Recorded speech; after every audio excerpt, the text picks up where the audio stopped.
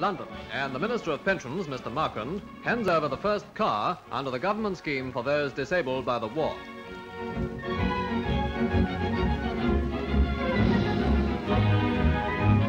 The new owner, Mr. Flanders, late of the Royal Navy, went for his first drive without delay, the prelude to renewed freedom to travel around.